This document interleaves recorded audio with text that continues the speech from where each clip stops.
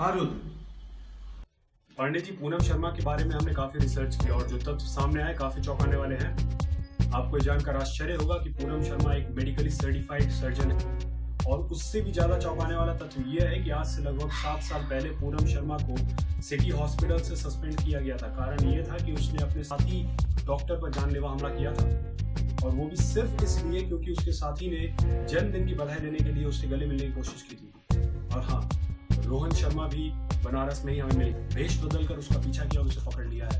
फ़िलहाल आप एक काम करिए पांडे जी पूनम शर्मा के नाम अरेस्ट वारंट लेकर आप उसके फ्लैट के नीचे हमें मिलिए हम आपसे वहीं मिलेंगे। ठीक है रखते हैं। चौबे जी? जी सर। रुद्र का फ़ोन आया था। हम दो मिनट में निकल रहे हैं। ठीक है बाय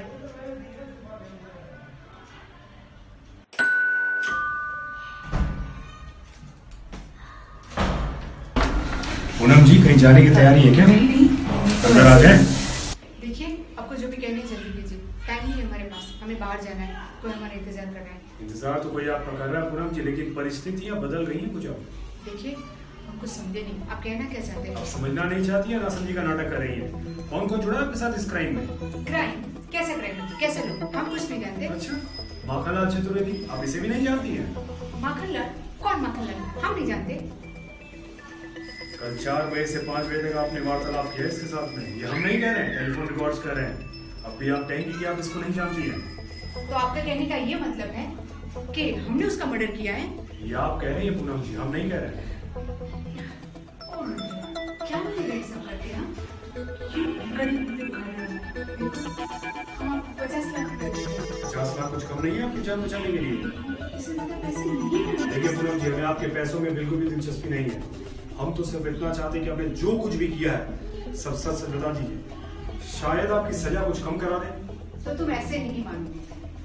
मजबूरन मुझे पुलिस को कॉल करना पड़ेगा और मैं कहती हूँ कि तुमने मेरी इज़्ज़त पे हाथ डाला है। इसे आप ये करके देख सकती हैं। और आपकी सहायता के लिए पुलिस को भी हम ही बुला देते हैं। पांडे जी आ जाइए। सर देखिए ना ये हमारे साथ हमारी इज़्ज़त पे हाथ डाल रहा है। अच्छा। जी आपके सारे फ़ोन कॉल्स टैप हो चुके हैं। और कौन क्या करने की कोशिश कर रहा है ये सब हम देख चुके हैं और सुन चुके हैं। अब आपकी बेहतरी इसी में कि सब कुछ सच सच बता दे। आप फंस चुके हैं पूनम जी। देखिए सर हमने कुछ भी नहीं किया किसी को नहीं जानते। हैं कुछ भी नहीं किया है। चौबे जी। चलो। आप इसको भी नहीं जानती है। क्या कहना है आपको?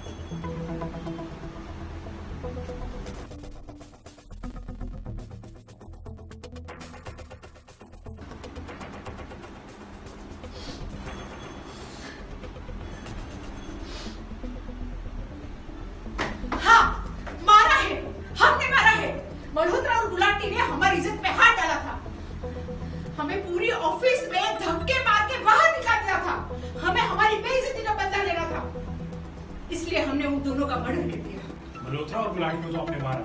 माखनलाल चतुर्वेदी को भी मारा? वो हमें ब्लैकमेल कर रहा था। हाँ। हमने उसे पैसे देकर मुँह बंद कराने की कोशिश की थी लेकिन वो नहीं माना। और उसको हम हमने घर में मिलने के बहाने बुलाया और चाय में जहर देकर मार डाला। तो आप हमारे पास भी तो आ सकती थी। तो आप क्या करते? रिपोर्ट लिखते दो दिन उनको जेल में डालते फिर क्या? वो फिर छूट जाते। हमारी इज़्ज़त का क्या? हमारी इज़्ज़त वापस ला सकते थे आप मानते हैं कि लेकिन आपको ये नहीं लगता कि आपने भी गलतियाँ की क्राइम किया है? और हर क्राइम की एक सजा होती है। आपने कभी ये नहीं सोचा आप हंसेगी तो आपका भाई भी हंसे? आपने अपने बदले की आग में अपने भाई को भी झोंक दिया। यही प्यार है आपका। यही ममता है आपकी। हमें तो सिर्फ़ स्वार्थ दिखता है आपका। सिर्फ़ स्वार्थ। हम स्वार्थी नहीं है। हम मानते हैं कि हमसे गलतियाँ हुई है लेकिन हम अपने भाई से बहुत प्यार करते हैं। उसकी इसमें कोई गलती नहीं है। हमने उसको इन्वॉल्व किया था। अब उसे छोड़ दीजिए। इसके लिए तो आपको बहुत पहले सोचना चाहिए था। आपको हमेशा थाने चलना होगा पूनम जी। मेरे भाई को बचाओ। हम आपके हाथ जोड़ते मेरे भाई को बचाओ। अब ये कानूनी प्रक्रिया है। चलिए पूनम जी।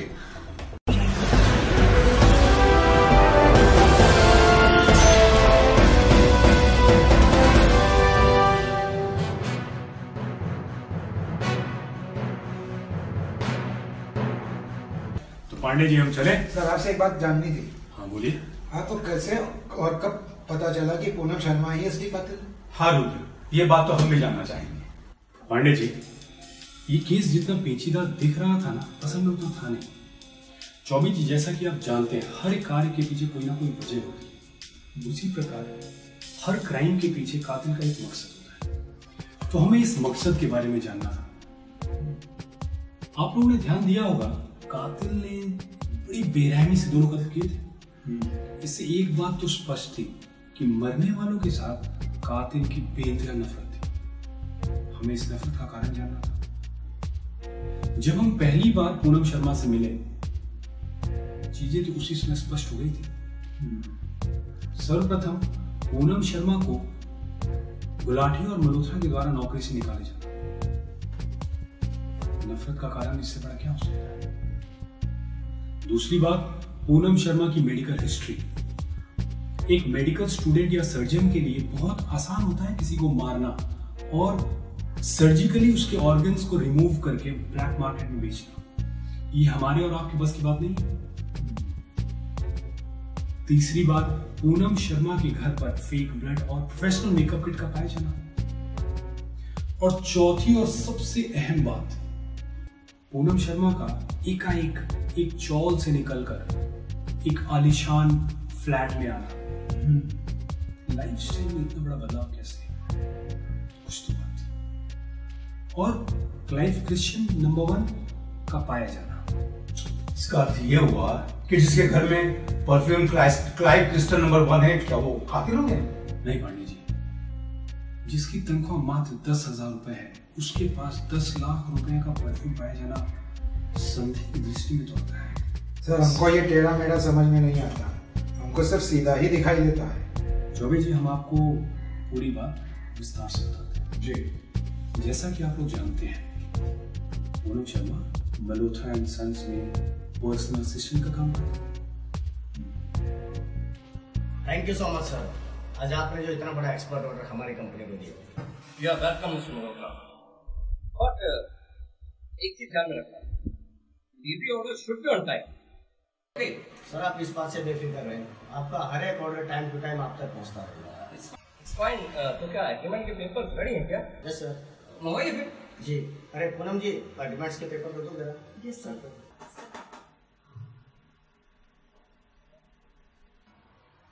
सर ये मेरी assistant Poonam ji oh hi miss Poonam hello sir sir signature हाँ श्योर श्योर श्योर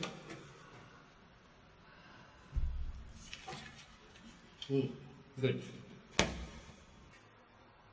तो मिस्टर मल्होत्रा ये Malhotra and Sons yes sir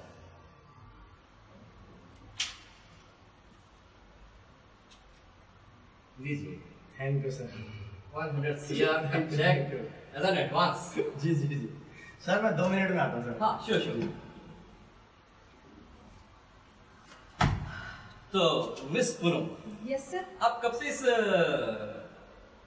company में काम कर रहे हैं? सर जब से कंपनी शुरू हुई तब से काम कर रही हूँ। गुड गुड कैसे भी आप यहाँ पे? सर टेन की। बस सिर्फ़ दस हज़ार। ये तो बहुत कम है। अ, मुझे कुछ ना कुछ करना पड़ेगा। मैं मिस्टर मल्होत्रा से आपकी सैलरी बढ़ाने की बात करूँगा। Thank you thank you so much sir no no no thanks thanks की कोई ज़रूरत नहीं है। बस एक छोटा सा हक दे दो मेरे को प्लीज़ ये ये क्या करे sir come on give me a hug sir ये क्या करे सर सर क्या हुआ पूनम? क्यों इतना चिल्ला रही हो? सर ये ये मेरे साथ बदतमीजी करे सर बदतमीजी? मिस्टर मल्होत्रा मैं कुछ भी गलत नहीं कर रहा। मैं तो बस गले मिल रहा था इनसे। ओ पूनम क्या तुम भी जरा सी बात पे नाराज़ हो जाती हो? ये कॉर्पोरेट कल्चर है। चलता है? सर मुझे नहीं चलता। मुझे नहीं चलता मतलब? तुम लोग सब गंदी नाली के कीड़े हो गंदी नाली में रहना पसंद करते हो। कभी तरक्की नहीं कर सकते। निकल जा मेरे ऑफ़िस से बाहर। सर मैं तो जा रही हूँ। लेकिन गंदी नाली का कीड़ा कौन है? ये तो वक्त ही बताएगा। हाँ हाँ जाओ जाओ। देखता मैं मुंबई के अंदर कौन तुम्हें नौकरी देता है। गेट फ्रॉम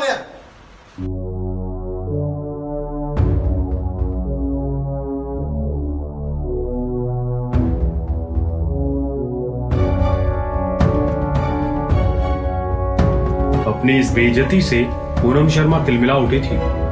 उसने अपने भाई के साथ मिलकर एक प्लान बनाया, ताकि वो मल्होत्रा और गुलाटी से अपना बदला ले सके।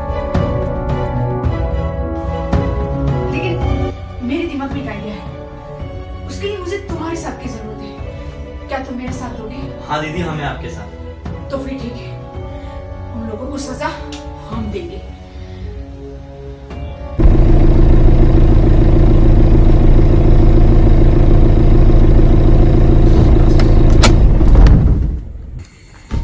पूनम ये जानती थी कि गुलाटी हर संडे अपने फार्म हाउस जाता था। और देर रात नशे में धुत होकर लौटता था।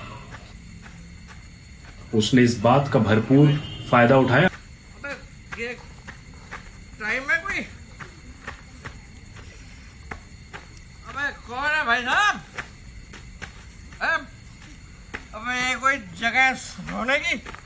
हेलो ओ हेलो अब, भाई साहब, उठो। अबे, उठो ना यार, ये कोई कमाल है। दारू मैंने पिए। और लड़का बैठा चल। हेलो। भाई साहब भैया, भाई साहब, उठो। अबे, ये जगह सोने की नहीं है। हेलो। अबे, ये बीच सड़क है, रास्ते।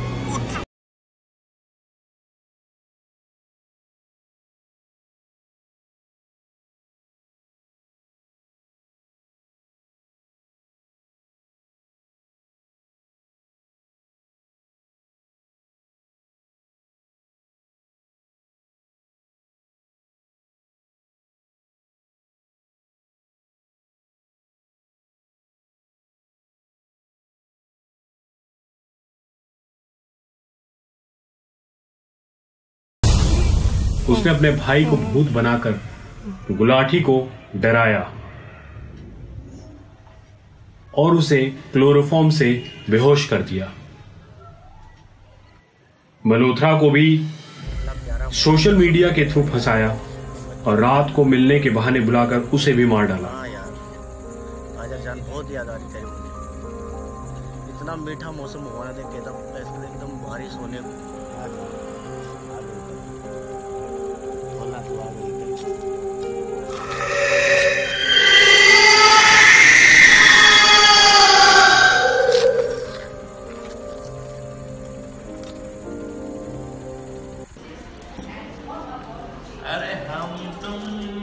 तुम लाल माखनलाल का वाकया तो आप लोग समझ ही चुके होंगे। उसे उसने अपने घर बुलाया और चाय में जहर मिलाकर उसे भी मार डाला। चतुर्वेदी है। आपने कहा था ना? ठीक साढ़े सात बजे आ गए ठीक है ठीक है आ जाओ। ये लो।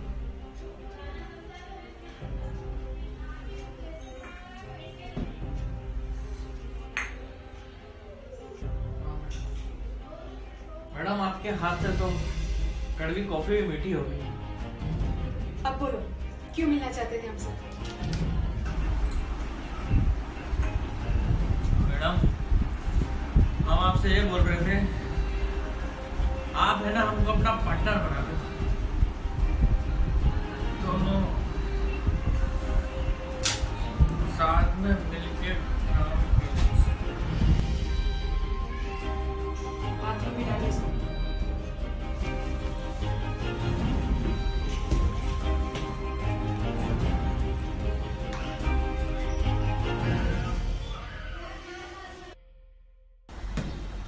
तो इस प्रकार इन लोगों ने मिलकर पूरे षड्यंत्र को अंजाम दिया। अरे यार रुद तुम कौन सी चक्की का आटा खाते हो भाई? तुम्हारा दिमाग बहुत तेज है। घर आइए आपको भी चखाएँगे।